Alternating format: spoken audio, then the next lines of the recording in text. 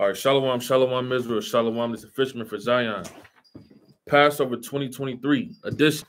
All right, we give all glory, honor, and praise to the Most High God, the Heavenly Father, whose name alone is Yahweh, and we do so in the, name of His only begotten Son, Yahweh Shah, who the world ignorantly calls Jesus Christ. We the Fishermen for Zion, right on the scene, right? The water to the Most High for allowing us to see another day, another year to celebrate the Passover, right? In the remembrance of the Most High saving his children in the remembrance of his only begotten Son, Yahweh Shah, right?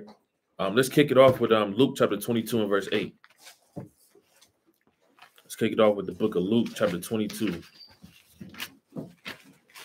Let's go to verse 8. It's the book of Luke, chapter 22, starting at verse 8. And it reads, And he sent Peter and John, saying, Go and prepare us the Passover, that we may eat. Read that one more time. Luke 22 and verse 8. And he sent Peter and John, saying, Go and prepare us the Passover. Go and prepare what? Go and prepare us the Passover, Right? that we may eat. right? That we may eat, right? So this is the season of the Passover, right? That we're supposed to commemorate for as long as the children of Israel are born. Right, real quick, let's get Psalms chapter 78 and uh, verse 1 through the Spirit. Uh, let's start at verse number 1. Psalms chapter 78 and verse 1. Book of Psalms, chapter 78, verse 1. Give ear, O my people, to my law. Incline thy ears to the words of my mouth. I will open my mouth in a parable. I will utter dark sayings of old, Right? which we have heard and known, and our fathers have told us Right? we will not hide them from their children. No, we're gonna keep them to ourselves. We will not hide them from their children, Right, read on. showing to the generations to come the praises of the Lord and his strength, his wonderful works that he have done. Right. So, what are the strength and the wonderful works that the Lord have done? One of them is saving us out of slavery, out of right. Egypt. Right. So, everyone, all so-called Black, Hispanic, and Native Americans, should know about how the Most High God delivered us from captivity, hard bondage. From who? From our enemies. Right. This happened many, many years ago. Many, many years ago, we were literally sla- saved out of slavery. Right. You could read about that in Exodus how the Lord sent the plagues upon those wicked, nasty Egyptians and saved us out of captivity and did wonderful works for us, as it said in verse three. Can you read that uh, that verse one more time? I mean, verse, Verse four. four? Come. Yeah, of Psalms, chapter 78, verse 4. We will not hide them from their children, showing to the generation to come the praises of the Lord and his strength and his wonderful works that he have done. Con. Uh, read verse five. Five. For he established a testimony in Jacob and appointed a law in Israel, Right. which he commanded our fathers, that they should make them known to their children. Right. Read on. And verse six, the generation to come, That the generation to come. come Right. might know them, even the children which should be born, who should array should arise and declare them to their children. Right. So we give all glory and honor and praises to the Most High that He left us these records. Right. That's why the Lord said, if it had not been for the Lord who was Hmm. on our side, and we would have been consumed.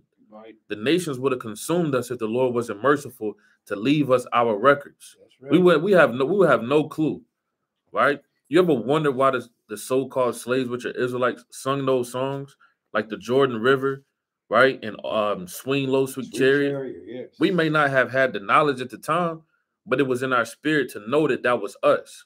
So it's of the Lord's mercies that we're not consumed and have these records to bethink ourselves to know that the Most High um judgments and His wonderful works that He's done for us, right?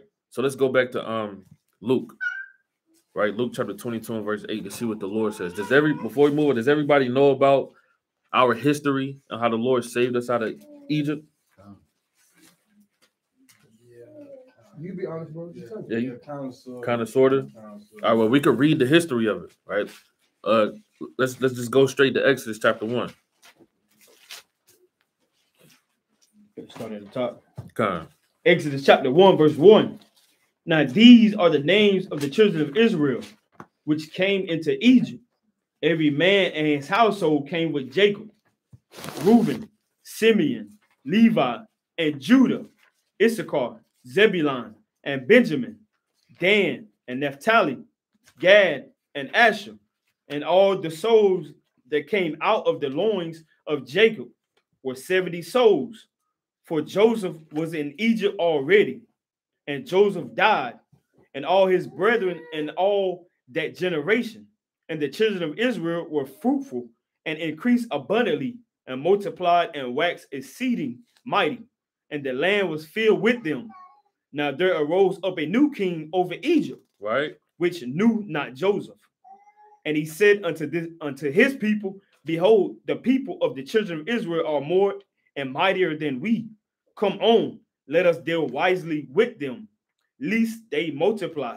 Right. So the, this is the history of the Egyptians planning to put us in slavery. Right. Just like the prayer that we read earlier in uh, Psalms chapter 83, they have taken crafty counsel against thy hidden ones and consulted under one consent. Right. This is this is nothing new. They did this back again, and they're continuing to do it now. Right. So this is the Egyptians planning to put us in slavery because this new king, he knew not Joseph. He didn't know about how Joseph went inside of Egypt and taught them mathematics and taught them all manner of science and equitable things. Right. Right. You can read about that in the book of Psalms, chapter 105. So he his plan was to put us in slavery and make us taskmasters.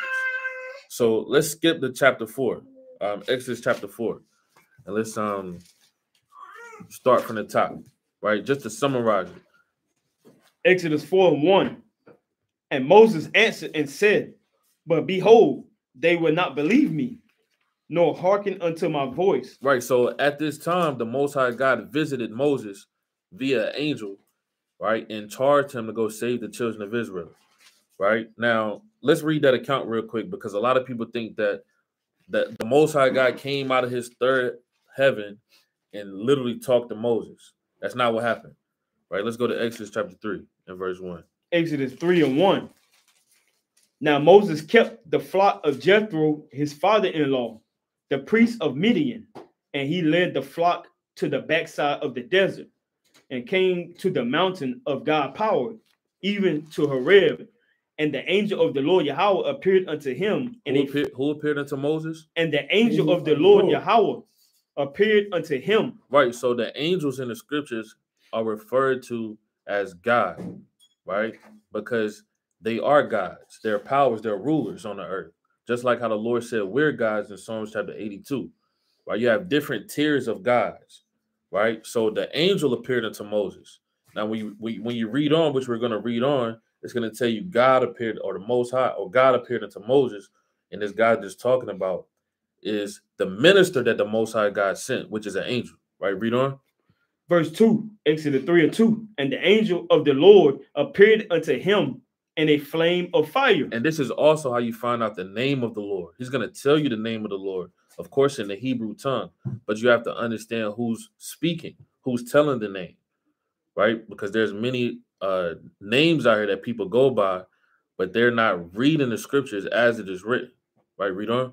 And the angel of the Lord appeared unto him in a flame of fire out of the midst of a bush.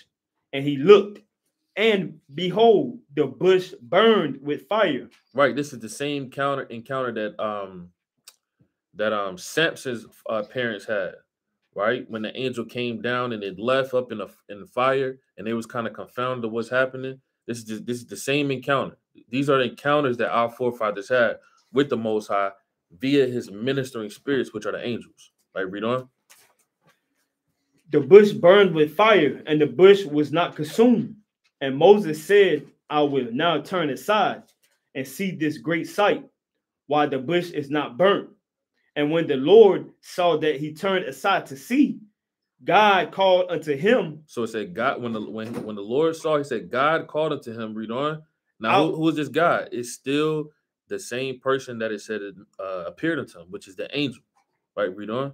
God called unto him out of the midst of the bush, and he said, so like and said, Moses, Moses, and he said, Here am I. And he said, Draw not nigh hither, put off thy shoes from off thy feet, for the place whereon thou standest is holy ground. Right. So he said, Take your shoes off before you come and enter into me, because the place that you're standing on is holy ground. What does that mean? A real a real quick simple precept on that. Get um Ecclesiastes 5 and 1. Right? Ecclesiastes chapter 5 and verse 1. It's Ecclesiastes chapter 5 and verse 1. Keep thy foot when thou goest to the house of God, Right? and be more ready to hear than to give the sacrifice of food. So Mo- Moses, when you go back and read the story, Moses was raised up as an Egyptian, right? Meaning he was raised by heathen, people that didn't know the Most High God. The people that knew the Most High was the Israelites. So when the angel appeared unto Moses, and Moses knew he was an Israelite, which is why he uh, went to save his people and beat up the Egyptians. So the Most High charged him to leave those doctrines that he was raised up as, as an Egyptian, and take his shoes off. That's a signification for that, right? Come as a babe, just like in the truth in so-called New Testament. In John chapter 3, it says, um, what? Born Be again. born again. This is the Right. same concept, right? So when you read in the scriptures in the, what you call the New Testament, you're gonna find out when you read in the so-called Old Testament, it's a mirror of the same thing. So when Moses was trying to take off his shoes, he was charged to leave the doctrines, leave the folly that he just read, that he just was taught, and come to the Most High in spirit and in truth. That's really what it means on a deeper level, right? So go back to that Exodus, Exodus 3 and 2. And verse the- six. Use that verse six. verse 6 moreover he said i am the god of thy father the god of abraham the god of isaac and the god of jacob and moses hid his face for he was afraid to look upon god and the lord said i have surely seen the affliction of my people which are in egypt and have heard their cry by reason of their taskmasters Right? for I know their sorrows, and I am come down to deliver them out of the hand of the Egyptians, and to bring them up out of that land unto a good land, and a and a large unto a land flowing with milk and honey, unto the place of the Canaanites, and the Hittites, and the Amorites, and the Perizzites, and the Hivites, and the Jebusites. Now therefore, behold, the cry of the children of Israel is come unto me, and I have also seen the oppression wherewith the Egyptians oppressed them. Right. So the same thing that's going on now, that's the same thing that happened here in America, right? The Lord has seen all of our affliction here in America. And the, the reason, the way that the Lord has seen it was through this same spirit that's having an encounter with Moses, which is the angel. He said, Listen, I've seen these things. That's why the Lord said in Sirach, it says, The eyes of the Lord are 10,000 times brighter than the sun, beholding all of the ways of men, right? Which is those ministering spirits. Real quick, get a quick precept.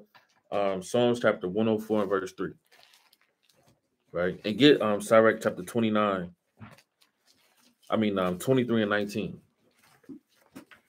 To prove that real quick. Psalms chapter 104, verse 3, Kind. and it reads, Who laid the beams of his chambers in the waters, who maketh the clouds his chariot, Who maketh the what? who maketh the clouds his chariot, Right? who walk who walketh upon the wings of the wind. Continue. Come. Who make his angels spirits, his ministers flaming fire. Right. Ministers are flaming fire. The, the word minister goes back to the word to go forth, to go out. Right. So the Lord has his ministers out seeing everything, judging everything. Right. That's why um the book of Sirach says this. Read that real quick. 23 and 19. Book of Sirach, chapter 23, verse 19. And it reads, Such a man only feared the eyes of men, and knoweth not that the eyes of the Lord are 10,000 times brighter than the sun, Right, because the Lord created all these different angels that see everything. Right, read on. beholding all the ways of men, and considering considering the most secret parts. Right, considering the most secret parts. Real one last quick precept on that. Proverbs chapter 15 and verse 3. Book of Proverbs, chapter 15, start at verse 3. And it reads, The eyes of the Lord are in every place, Right? beholding the evil and the good. Beholding the evil and the good, right? Which is why what? Which is why the Most High sent these angels to deliver this message to Moses. Hey, I'm gonna save the children of Israel. I see all the affliction that's taking place. I see the evil that's being done to my chosen people. Right? So go back to Exodus chapter 3 and um let's jump down to verse 13. Exodus chapter 3, verse 13. And Moses said unto God, Behold, when I come unto the children of Israel, and shall say unto them, The God of your fathers hath sent me unto you, and they shall say to me, What is his name? What shall I say unto them? Right? And God said unto Moses, I am that I am. What he say? I am that I am. Read on. And he said, Thus shalt thou say unto the children of Israel, I am, had sent me unto you. Right. Tell them that I am has sent them. Right. Which is saying what? He's delivering this message, saying, What is the most high's name? He said, I am, meaning he is. Right? Because this angel is delivering the message to Moses. He is. That's how you get the name Yahweh.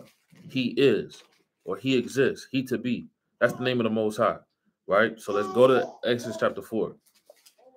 And the reason why that's important because the angels came down to deal with the children of Israel. Right? It tells you that in Deuteronomy chapter 4 verse 1 that the Lord spoke to the children of Israel face to face. Right? Uh first one on down. Right. So uh, let's read that. Exodus chapter 4, verse 1. And Moses answered and said, But behold, they will not believe me, nor hearken unto my voice, for they will say, The Lord had not appeared unto thee. And the Lord said unto him, What is that in thy hand? And he said, A rod. And he said, Cast it on the ground. And he cast it on the ground, and it became a serpent. And Moses fled from before it. And the Lord said unto Moses, Put forth thine hand and take it by thy tail. Right. So the Most had to, like brothers, when they say, uh, do the Jews require a sign? Right. Like we was talking earlier, the brothers, you know, the brother threw up some prayers, like, well, you know, Lord, I want to see it. I want to see a chariot. Next thing you know, the Most High delivers and answers for you. Right. So this the same way. This how our people been getting down. Well, well, Lord, let me see something. Right. Right. That's how Jake always. Let me see something. Well, let me show me what you got. Right. You know, you don't believe it until you actually see it. This how our people is, man. Our forefathers is the same way. So read on. Verse 4. And the Lord said unto Moses, Put forth thy hand and take it by the tail. And he put forth his hand and caught it, and it became a rod in his hand, that they may believe that the Lord God of their fathers, the God of Abraham, the God of Isaac, and the God of Jacob had appeared unto thee. Right, the God of Abraham, the God of Isaac, and the God of Jacob. Right, this is the same God. This is the same God throughout the whole book. Right, people freak out when they go to the book of Matthew and they just forget about that. They just try to forget about he's the God of Abraham, Isaac, and Jacob. There's nothing new under the sun. He's the same God then, and he's the same God now. The God of Abraham, Isaac, and Jacob is going to save these same people as before in ancient Egypt. Right? Read on. Verse 6 And the Lord said furthermore unto him, Put now thine hand into thy bosom. And he put his hand into his bosom. And when he took it out, behold, his hand was leprous as snow. And he said, Put thine hand into thy bosom again. And he put his hand into his bosom again and plucked it out of his bosom. And behold, it was turned again as his other flesh. Right? And it shall come to pass, if they will not believe thee, neither hearken to the voice of the first sign, that they will believe the voice of the latter sign. And it shall come to pass, if they will not believe also these two signs, neither hearken unto thy voice, that thou shalt take of the water of the river and pour it upon the dry land. Right. So you got to remember, Moses wasn't really raised up with his brethren like that. So he's like, he, you know, he he doesn't have the most confidence in himself that these people are gonna hear him. Right. You got these are Judites, right? In the ancient world, right? You know, so these are so-called black Negroes, if you will. So he's kind of like, well, you know, Lord, you got to kind of help me in this thing, Right. right? She just- I need on. I need to understand. You think I can do this? I'm just Moses, right? Read on. And the water which thou takest out of the river shall become blood upon the dry land. Right. And Moses said unto the Lord, O my Lord, I am not eloquent, neither heretofore, nor since thou hast, fors- hast spoken unto thy servant, but I am slow of speech and of a slow tongue. And the Lord said unto him, What does that mean? Right? When he said, I'm of slow speech and a slow tongue. You said he stuttered. Give me Acts 7 and 22.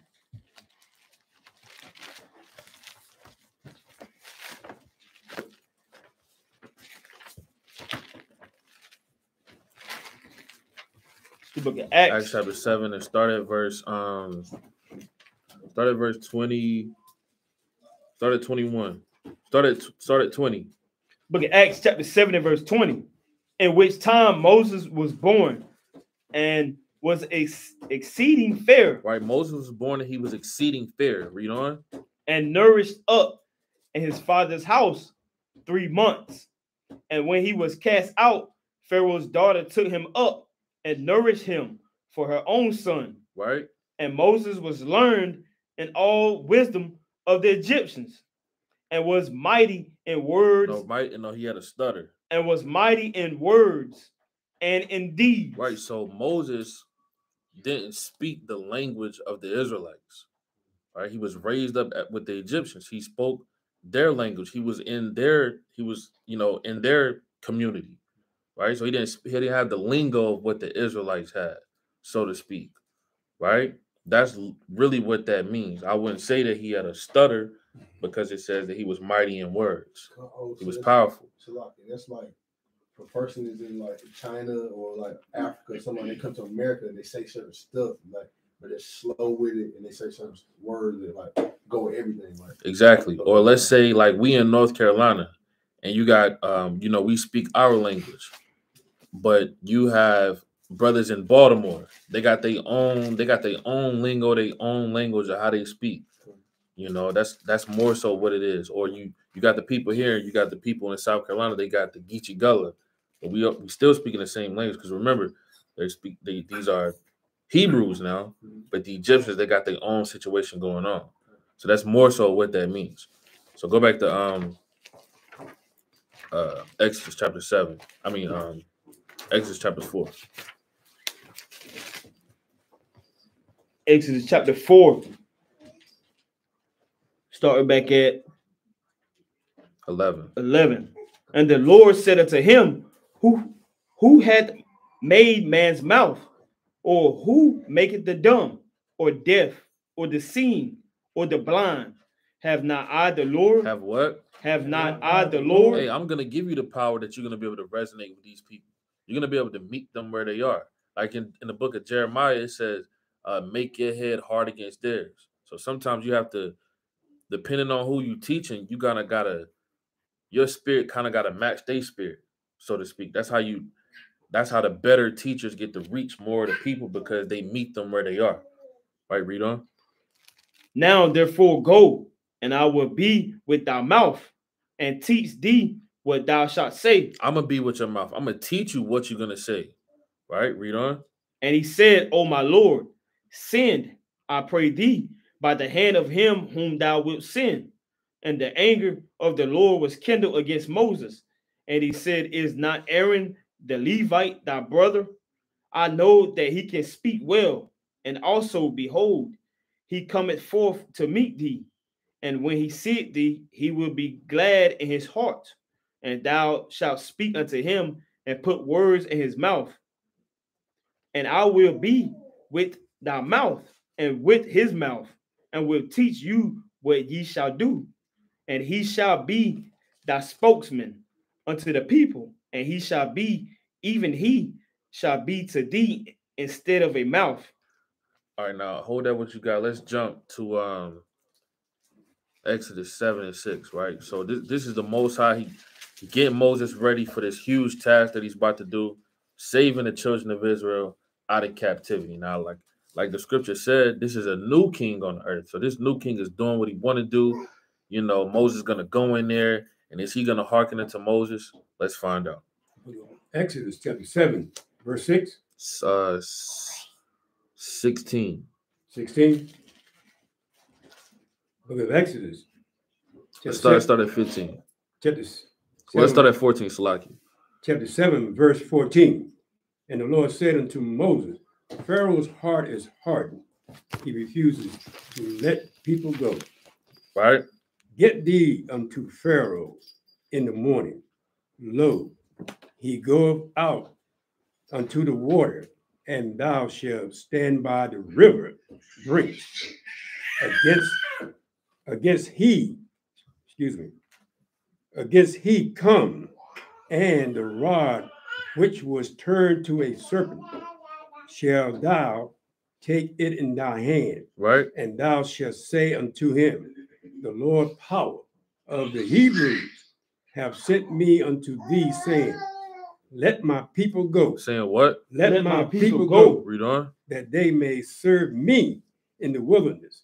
And behold, hither, hitherto thou wouldest not hear, thou wouldest not hear. Right. So when Moses went into Egypt, right? Everybody should know this. This is history, right?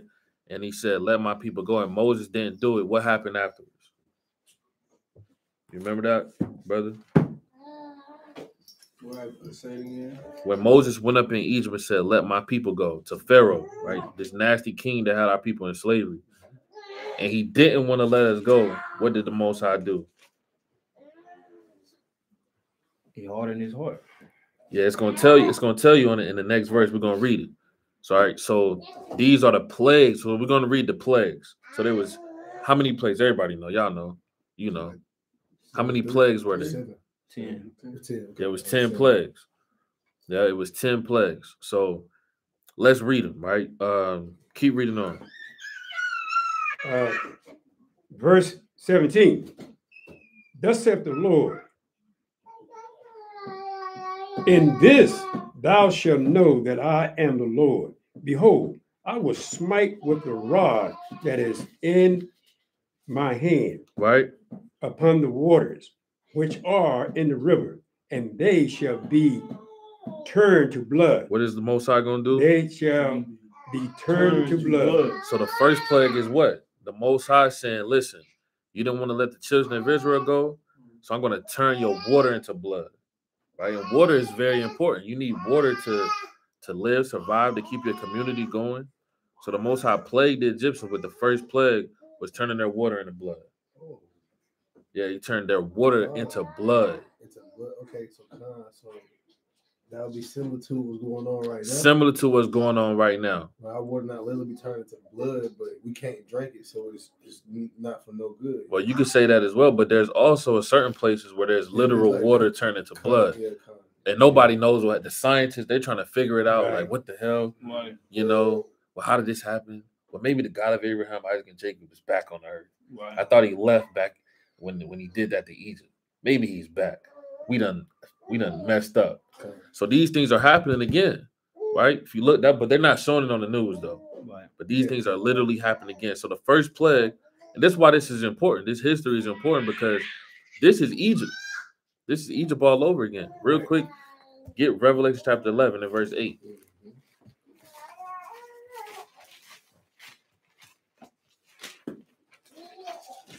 Book of Revelation, chapter 11 and verse 8. And their dead bodies shall lie in the street of the great city, which spiritually is called Sodom and Egypt. right so there's another place that's going to be spiritually called sodom and egypt and we know that this is babylon the great That's Right. right. um go to isaiah chapter 19 and verse 1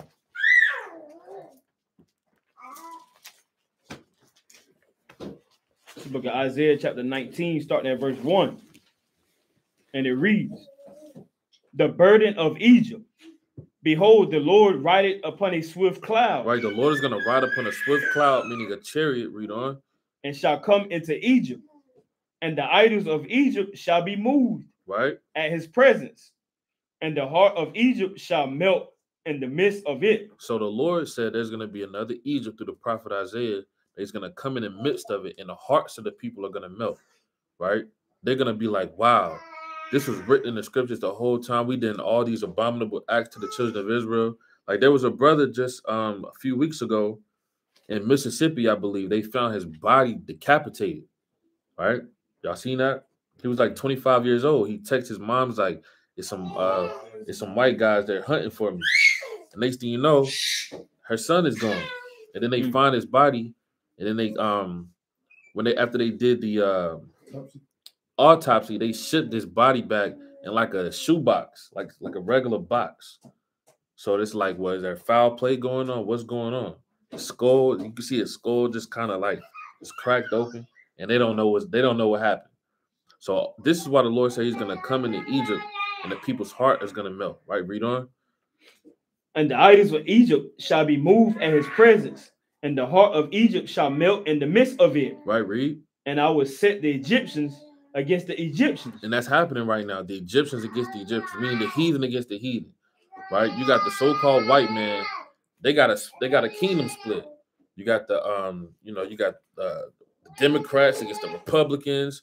You got the uh BRICS against NATO. yeah, the Brits against NATO. You got you know these Chinese people that then came over here and assimilated themselves as Egyptians. You know they kind of leaving the ways of the Egyptians, and now they're at war with one another. You got these different sides, which is the Egyptians against the gems. We don't. And they shall fight every one against his brother, and every one against his neighbor, Right? city against city, and kingdom against kingdom. You see that? And the Lord said the same thing in uh, uh Luke chapter 21. So um, so yeah, this is Egypt again. Let's go back to um where's we at? Exodus 7. Seven and Yeah, let's uh so that was 20. oh we was at the first plague. So the first plague was what? Blood, turn the water to blood. Turn the water into blood. Mhm. Now um let's read on a little more on that. Okay, you want to continue at 18 or Um what? con. Or you want to go? Con, let's read verse 19. Okay. Book of Exodus, chapter 7, verse 19.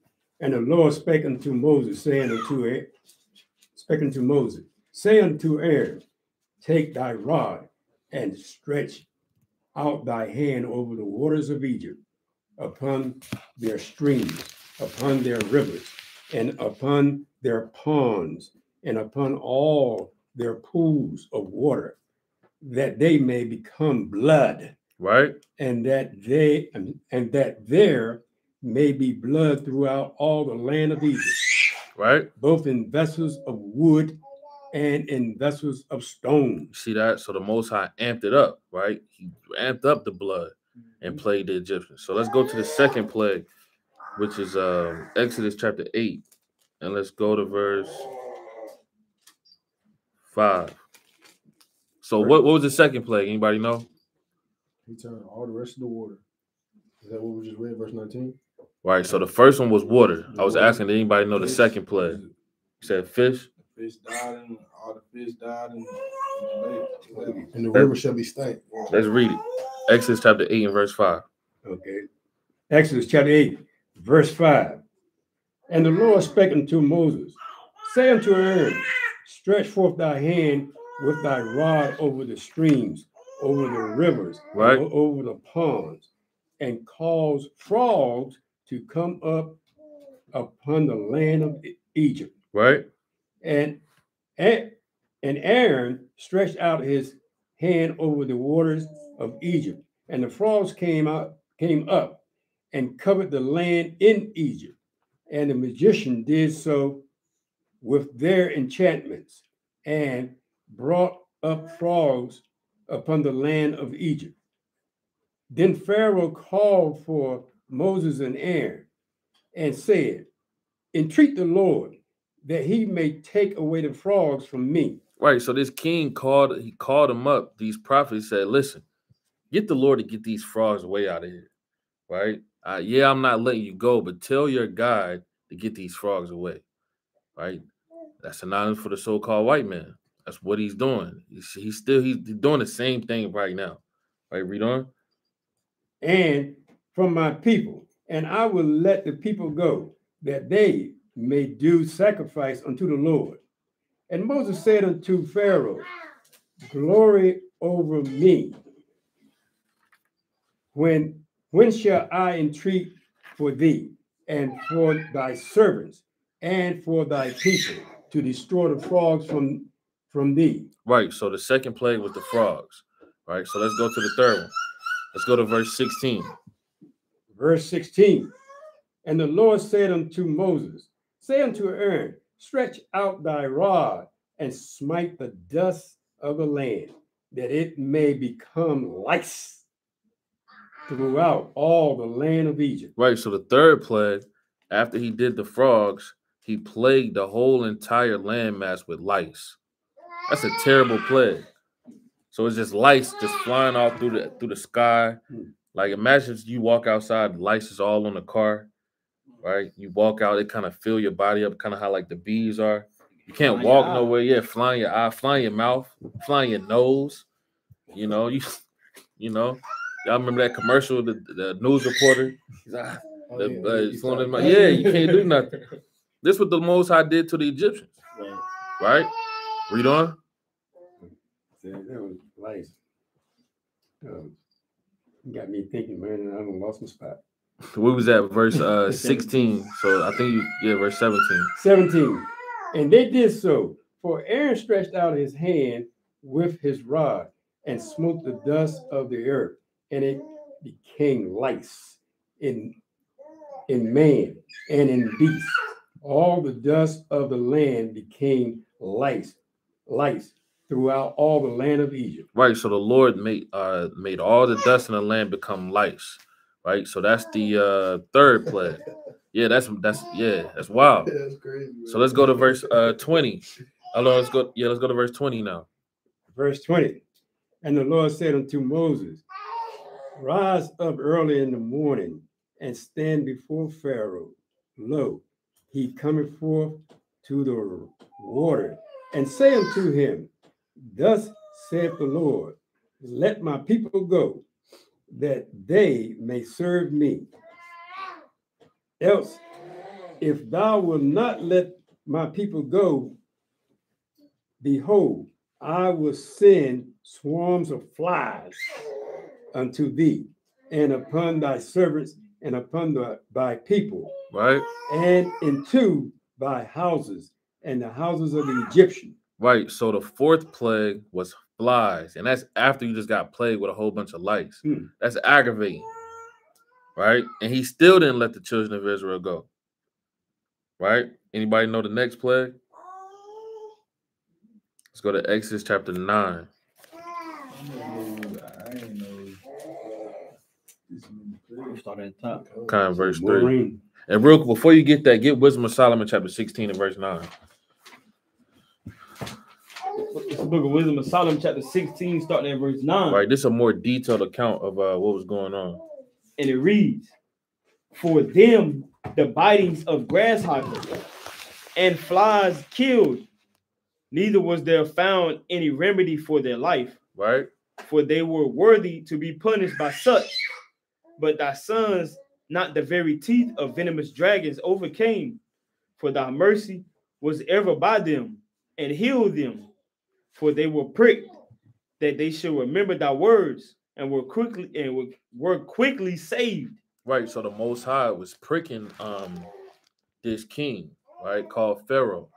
Right. Pharaoh Ramses the uh I think it was the fourth or the third, I believe. Right, because there was different pharaohs, and the Most High is pricking this man's heart and hardening his heart by plaguing him. Right. So let's go to um Exodus chapter nine, and uh, verse three. Uh, this to is, chapter 9, verse 3. and we on the, we on number five now. This is the fifth plague. Behold, the hand of the Lord is upon the cattle which is in the field, upon the horses, upon the asses, upon the camels, upon the oxen, upon the sheep.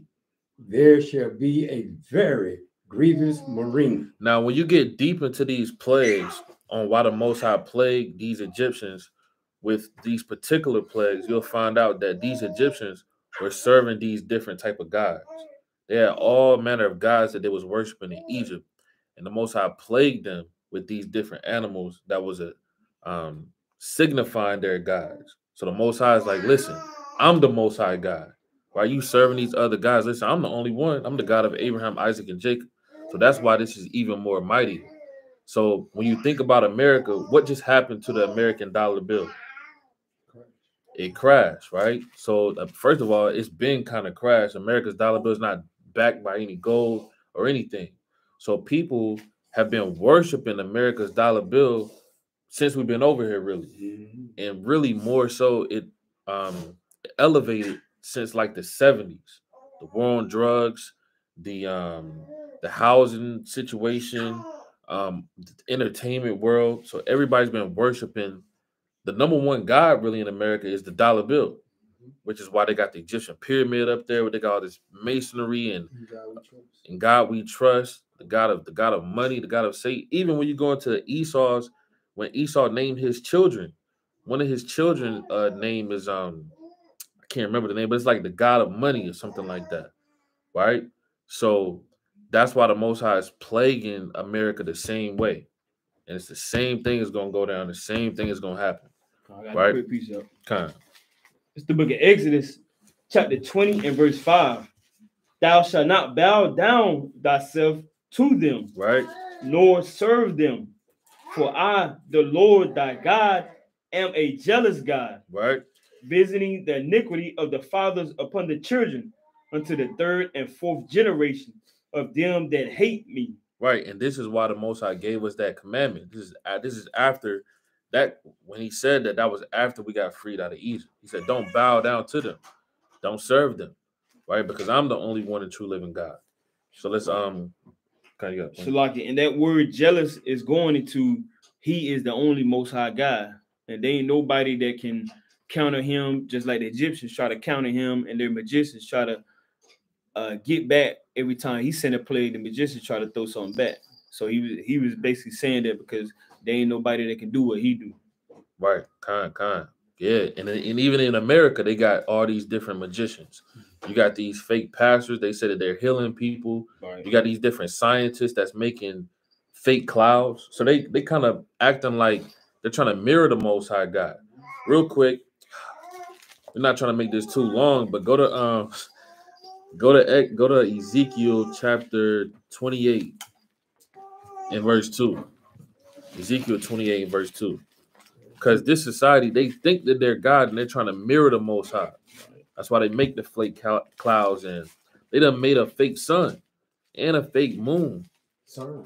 Yeah, and they- they even uh cloning people, Right. right? They'll take a man's sperm and try to um put it in the freezer and kind of save it and just start giving life as if the most high is not the only one that gives life.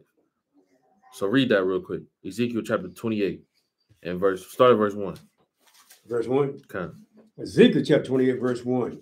The word of the Lord, you want to say yeah? you can read it as it's written. Okay. The word of the Lord came again unto me, saying, Son of man, say unto the prince of Tyrus, Right? Thus saith the Lord power, because thine heart is lifted up. because thine heart is lifted up. Say this unto the prince of Tyrus. Now, in a on a deeper level, this prince of Tyrus is talking about Esau. It's talking about the so-called white man. Right? Read on. And thou hast said, I am God. Th- What does the prince of Tyrus say? I I am am God. God. Right? I sit in the seat of God, in the midst of seas. I sit in the seat of God in the midst of the seas, seas meaning nations, in the That's midst of the different People, races of people. Mhm. Right? Read on. Yet thou art a man and not God, And the Lord said, Listen, yeah, you're a man, you're not God. Read on. though thou sit, excuse me, thou set thine heart as the heart of God. He said his heart as the heart of God. In his mind, he thinks he's God. Right? He has all of the colleges, he has all of the wealth, he has everything, right? Now, check out verse three. Read on. Behold, thou art wiser, thou art wiser than Daniel. There is no secret that they can hide from thee. Yeah, he said he's wiser than Daniel. How wise was Daniel? Daniel was able to tell Nebuchadnezzar's dream, and mm-hmm. Daniel wasn't even there. What does the so-called white man do? Your phone, you could be literally on your phone, and your phone to tell you what? You're hungry. You should go to Starbucks. And you was just thinking about Starbucks. Like, what the world? Right? It's in your recommendations. Right? So the so-called white man thinks he's God through his science and through his his knowledge on the left hand side. You know, so um, we don't got to get too deep in that. Let's go back. Uh, Exodus. We're gonna jump to the next uh, the next plague, which is Exodus nine and uh, verse eight. So, well, nine. Kind of, we're gonna go to verse eight now. Okay, verse eight. right? So we're on the sixth plague, right? So the so the fifth plague was um the Most High. Uh, um, did we even finish that? Flies. Nah, Flies. five was number four. So yeah, so it's livestock, it's the cattle. murrain. murrain. Yeah, murrain. Con. So let's go to verse eight. Okay, verse. This is uh, Exodus chapter nine, verse eight. And the Lord said unto Moses and unto Aaron, Take to you handfuls of ashes of the fur- what is it, furnace, and let Moses sprinkle it towards the heaven in the sight of Pharaoh, Right? and it shall become small dust in all the land of Egypt, and shall be a boil, There shall be a what? a boil, breaking forth with with blains up, upon him, upon man and upon beast throughout all the land of Egypt. And they took ashes of the furnace and stood before Pharaoh, and Moses sprinkled it up towards heaven, and it became a boil. Right. So the next one was the boils, and if you read on, it'll tell you that those same magicians of the Egyptians, they tried to mirror the same plague that the Most High God did. So this is why the Most High God is still plaguing them, because Pharaoh is like, hey, my my my servants can do that, right? That's kind of what he's saying in my mind. Oh, you're gonna do the blood? Okay, guess what my, my guess what my um magicians can do? Oh, you're gonna do the lice? Guess what my magicians can do? Oh, you're gonna do the boils? Guess what my magicians can do? Right? So this is why the Most High God continued to plague them, right? So um, let's jump down. Let's get the next one in verse uh 16. No, verse 22. Verse 20, 22, and it reads, And the Lord said unto Moses, Stretch forth thy hand towards heaven, that there may be hail in all the land of Egypt. Continue. Con. Upon man and upon beast and upon every herb of the field throughout the land of Egypt.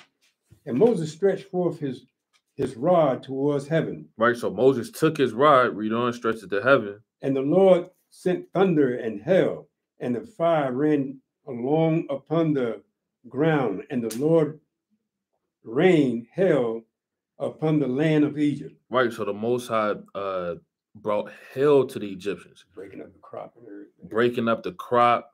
Um, people aren't able to to do uh, goods and service and buy and sell and be out there. You know, you can catch a concussion if a huge hell ball hits you in the head. You know, so and you got to remember the Egyptians had the greatest economy at this time. So the Most High is destroying their economy pretty much. He's destroying their economy and destroying the people. So and you can read a deeper account of Wisdom of Solomon. That's what you're about to get. Uh, I was trying to look for the precept. Chapter 19 and verse 18. Say, Ezra, No, Wisdom of Solomon. is it Solomon? While he going there, uh, there's a video where it's showing hell that is the size of softball. Mm. Con. And this hell in verse 24, it said the Most High put fire in it. Yeah, And we mingled it with fire. yeah, So imagine something cold and big, and now it's hot. The fire is falling, man. It's yeah. Imagine that joint hits your shoulder. Next thing you know, you look at your shoulder, your shoulder is just melting skin inside, out. and you kind of numb. You like, what the hell? You already got boils on you. Right. You got it. The wisdom, it's wisdom of Solomon, chapter 19 and verse 18. For the elements were changed in themselves by a kind of harmony, like as in a psaltery notes change the name of the tomb, and yet are always sounds, which may well be perceived by the sight of the things that have not that have been done. For earthly de- things were turned into watery, and the things that before swarmed in the water now went upon the ground. The fire had power in the water, forgetting his own virtue, and the water forgot his own quenching nature. What you at? Verse uh 20. All right, read on. Verse 21 On the other side, the flames wasted not the flesh of the corruptible living things, though they walked therein, neither melted they the icy kind of heavenly meat that was of nature apt to melt. For in all things, O Lord, thou didst magnify thy people. Right, so that's it on that. Right, so was the hellfire was um the uh the seventh plague. So let's go to verse eight. Right, kind of running through this. You should read this on your own. Right. So let's go to Exodus chapter ten and verse twelve. 10, 12. Kind Exodus chapter 10, verse 12. And it reads, And the Lord said unto Moses, Stretch out thy hand over the land of Egypt for the locusts, that they may come up upon the land of Egypt and eat every herb of the land, right, even all the hail had left. And Moses stretched forth his rod over the land of Egypt, and the Lord brought an east wind upon the land all that day and all that night. And when it was morning, the east wind brought the locusts, and the locusts went up over the land of Egypt and rest in all the coasts of Egypt, very grievous, where they before them there were no such locusts as they, neither after them shall shall be such. right. So the locust was next. Right, played him with the locust. Now let's jump to verse twenty. Oh, verse 20, Kind. and This, it is, this is the ninth plague. okay, verse 20. But the Lord hardened Pharaoh's heart so that he would not let the children of Israel go. Right, so he's still proud. Read on. And the Lord said unto Moses, Stretch out thy hand towards heaven, that there may be darkness over the land of Egypt, even darkness which may be felt, Which may be what? which may be felt. Right, what does that mean? Go to mm. Wisdom of Solomon 17 and verse 4, I believe, or 2. Right? So he said, Let darkness come upon the land that it may be felt. Right? Wisdom of Solomon, chapter 17 and verse 4. For neither might the corner that held them keep them from fear, but noises as of waters falling down sounded about them. So it's so dark that you can't see nothing. They're starting to hear noises. Imagine if it's just pitch black dark and you just hearing noises. Like you in the alleyway and you're hearing noises. That could make you bug out. Read on. and sad visions appeared unto them with heavy countenances. No power of the fire might give them light, neither could the bright flames of the stars endure to lighten that horrible night. Only there appeared unto them a fire kindled of itself, very dreadful. For being much terrified, they thought the things which they saw to be worse than the sight they saw not. Right. So they were so terrified that you know they they just um, what's the word? What's the word I'm looking for? You just, yeah, you're you're imagining things that's not there. Yeah, you're hallucinating. That's the perfect word. That's what's that's what's going on. Read on. As for the illusions of art and magic, they were put down, and their vaunting and wisdom was reproved with disgrace. Right. So that's it on that. Right. So let's go to the last one in Exodus chapter 12 and verse 29. Exodus 12 and 29. Book of Right. Exodus chapter 12, verse 29. Right. This is the worst one of them all that the That's Most High did to him. That's right. And it came to pass that at midnight the Lord smote all the firstborn in the land of Egypt, from the firstborn of Pharaoh that sat on his throne unto the firstborn of the captive. Right. that was in the dungeon, and all the firstborn of cattle. Mm. So the Most High smote all the firstborn of almost everything, Even cattle. right? Even the cattle, Animals. you know. Read. No mercy. Yeah, no mercy, Mm. right? No respect of persons. Read on. And Pharaoh rose up in the night, he and all his servants and all the Egyptians. There was a great cry in Egypt. There was a what? There was a great, Great cry, cry in in Egypt. Egypt. There was what? There was a great cry in Egypt. Read on. For there was not a house where there was not one dead. Right. So every household has somebody.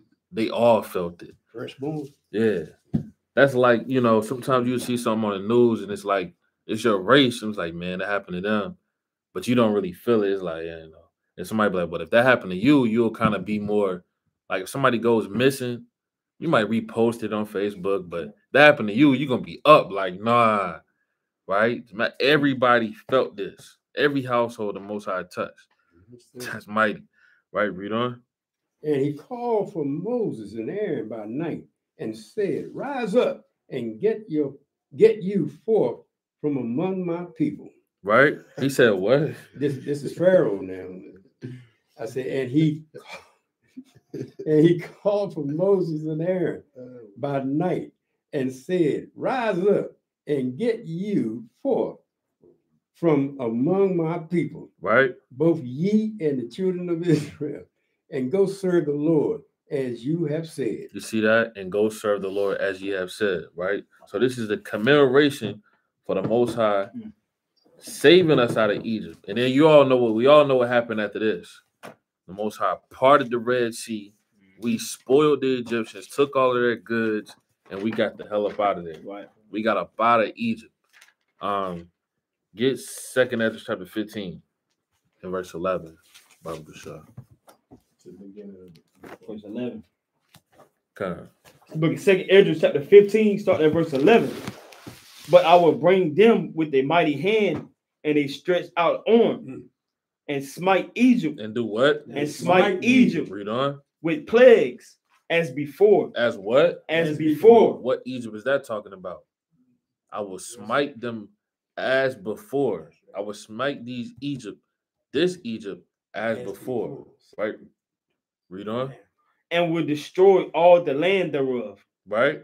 Egypt shall mourn, What shall mourn? Egypt shall mourn, America shall mourn. Read on. And the foundation of it shall be smitten with the plague and punishment Mm. that God shall bring upon it. They that till the ground shall mourn, for their seeds, seeds shall fail through the blasting and hail, and with a fearful constellation. Woe to the world and them that dwell therein. Right. Woe to this world and them that dwell therein. Let's get Joel chapter 3 and verse 19. Joel 3 and 19. I kind of forgot about this precept. Joel chapter 3 and verse 19. Watch this. Joel chapter 3, starting at verse 19. Start at verse so like start at 17. Joel chapter 3, verse 17.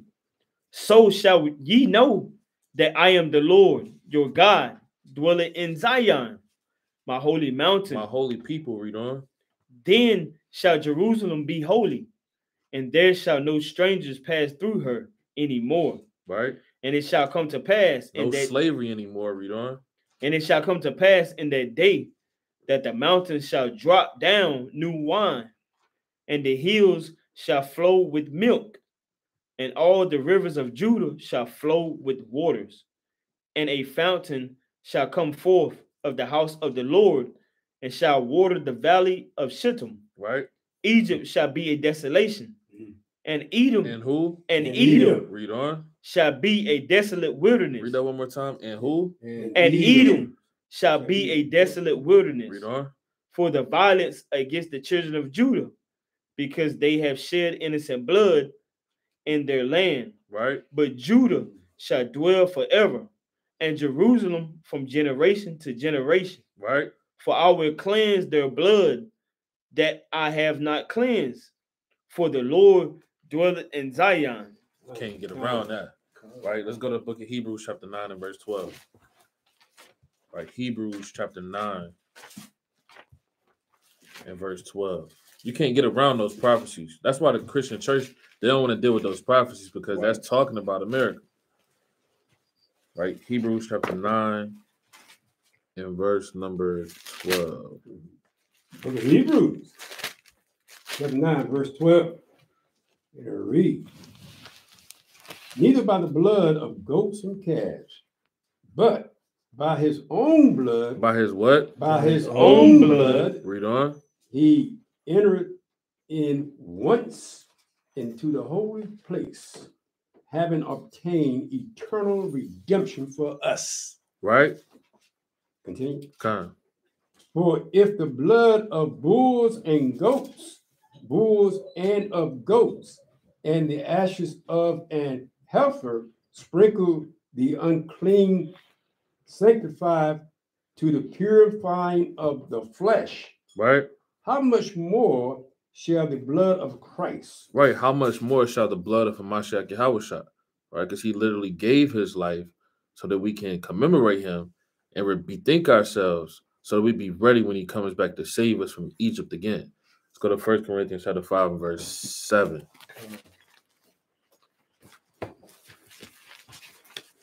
First Book of Corinthians chapter 5 and verse 7. chapter 5, verse 7.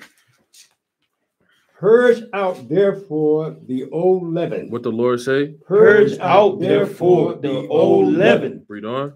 that ye may be a new lump, as ye are unleavened.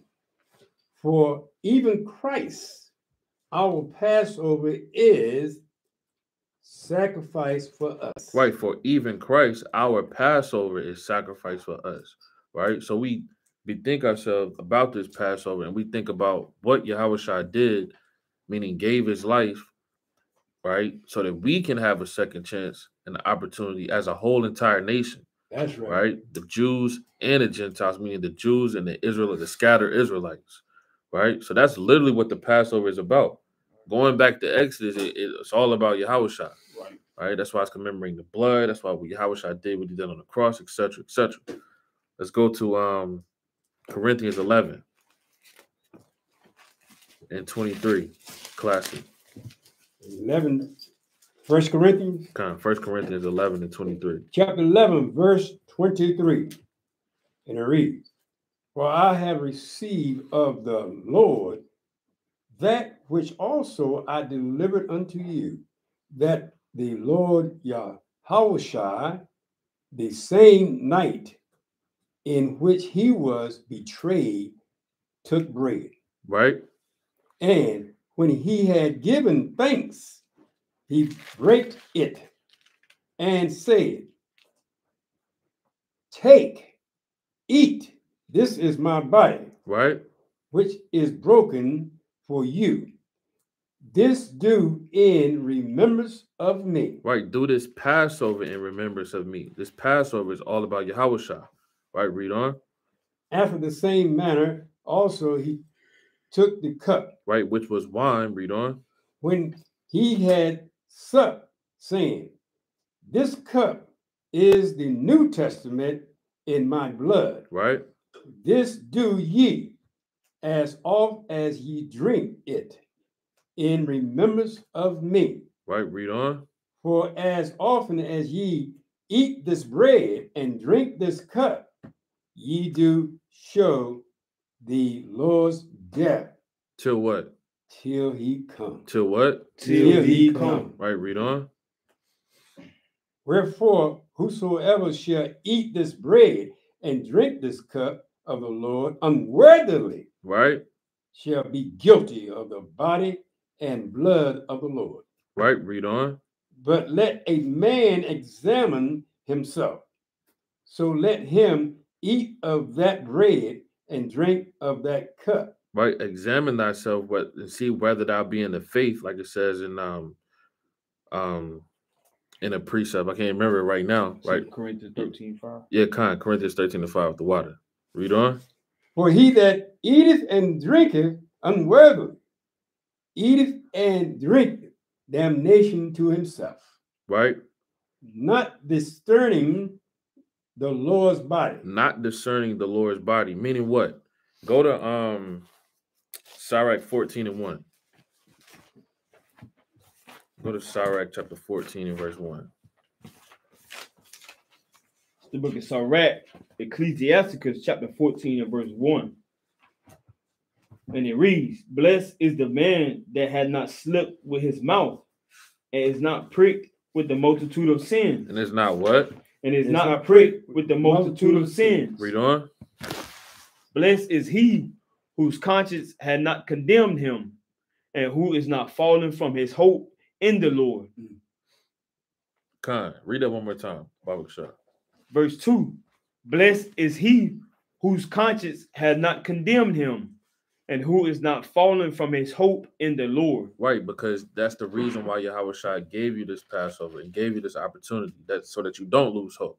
That's why his one of his biggest ministries was O ye of little faith.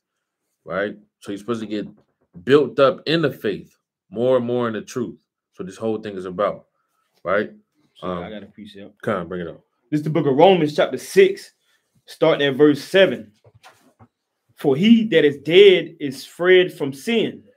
Now, if we be dead with Hamashiach, we believe that we shall also live with him, knowing that Christ, Hamashiach, being raised from the dead, died no more. Death had no more dominion over him. For in that he died, he died unto sin once. But in that he liveth, he liveth unto God. Likewise, reckon ye also yourselves to be dead indeed unto sin, but alive unto God power through Hamashiach Yahawashi, our Lord. Come. You want to elaborate on that?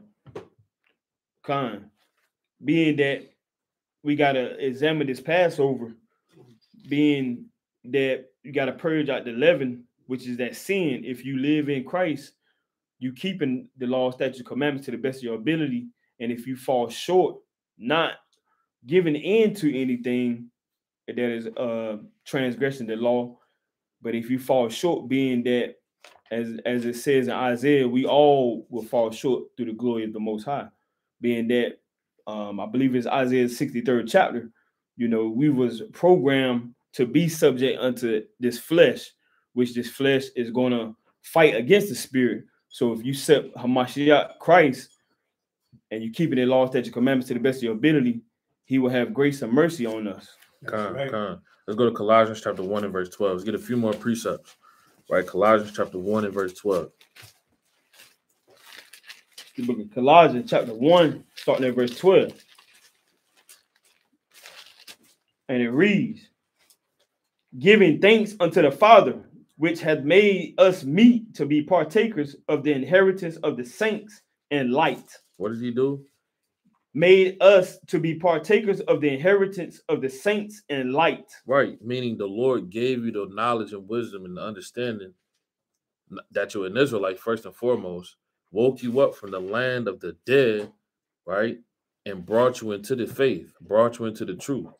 Right? Read on. Verse 13, who had delivered us from the power of darkness and had translated us into the kingdom of his dear Son, Right? in whom we have redemption, Whom we have what? in whom we have redemption Read on. through his blood, Mhm. even the forgiveness of sin. even the forgiveness of sins through his blood. That's really deep when you really think about it. This Right. one man, Mm. this one man, knowing how wicked you was, how off you was, how abominable, how lost, right? How hurt you were in the world or in the truth. This one man has the power to give you everlasting life by his sacrifice, right? It's mighty, right? Romans chapter 12, verse 1. So like I gotta appreciate Come, bring it up.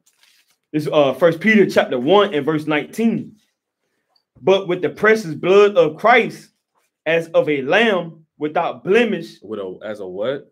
As of a lamb without blemish. Right, read on. and without spot, who verily was foreordained before the foundation of the world, but was manifest in these last times for you. Somebody precept. Con, Book of Romans. He said, chapter 12 verse 1. chapter 12, verse 1. I beseech you, therefore, brethren, by the mercies of your Yahweh, that ye present your bodies a living sacrifice, Right? holy, acceptable unto power, What the Lord say? Holy, and acceptable unto God. Read on. which is your reasonable service. Which is your reasonable service. Revelation chapter 22 and verse 12. Oh, The book of Revelation, chapter 22, starting at verse 12. And behold, I come quickly. What the Lord say? And behold, I come quickly. One more time. And behold, I come quickly. Read on. And my reward is with me to give every man according as his work shall be. Mm. Kind. That's written. With that, we say a shar, right? Passover. We pray that the Most High put the Spirit on you to have a mighty Passover through the Spirit. Pray that you're all keeping in this respective season, right? Pray, and after this is the Feast of Unleavened Bread. You should be eating unleavened bread for seven days as follow, right? With that, we say, Kum Yashala. Come, Yashala.